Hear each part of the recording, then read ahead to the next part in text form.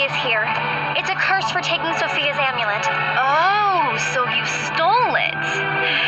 Yes, I did. And I thought giving it back would undo the curse, but it didn't work. Well, I knew a thief once, and he had a lot of bad deeds to make up for. He did? Once I met a man,